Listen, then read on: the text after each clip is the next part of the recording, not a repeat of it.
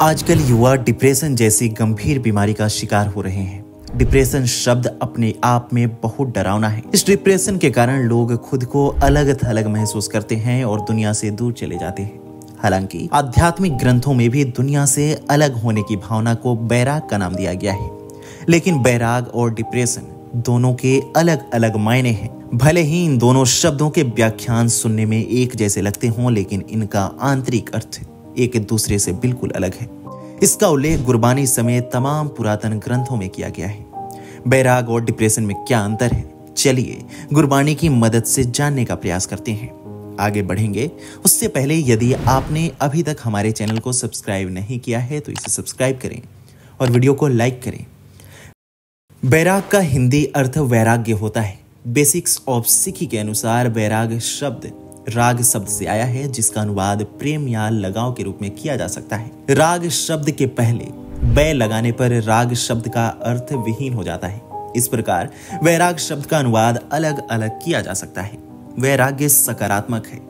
यह एहसास है कि यह दुनिया दोषों से भरी है और एक दिन वह सब कुछ जो कोई देखता या जानता है, समाप्त हो जाएगा। बैराग में रहने वाले लोग आत्मज्ञान की ओर जा रहे हैं।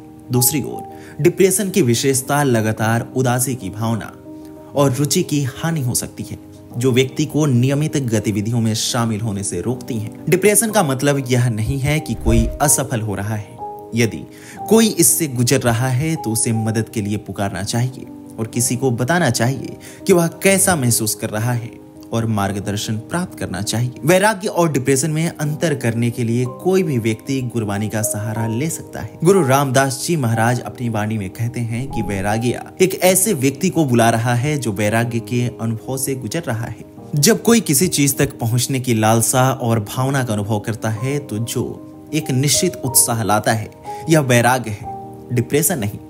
गुरु अमरदास जी बैराग की स्थिति का वर्णन करते हुए कहते हैं कि भगवान के आगमन की बात सुनकर मेरा मन हर्षित हो गया है। जब हम किसी को आते हुए सुनते हैं तो हम जीवन के वास्तविक सार को महसूस करने के लिए समग्र और उत्साहित महसूस करते हैं। अहंकार खत्म होने लगता है और हमें पूर्णता का एहसास होने लगता है। हमें ऐसा एहसास होने लगता है, मानो हम इसका एक हिस्सा हैं और हम वास्तव में जीवन के वास्तविक सार का अनुभव करने की संभावना से रोमांचित हो जाते हैं। इस प्रकार। वैरागी एक साधक है जो उत्साह से भरा हुआ है, जबकि एक व्यक्ति जो उदास है, उसमें आम तौर पर प्रेरणा और उस लालसा की कमी होती है, जो एक वैरागी में होती है।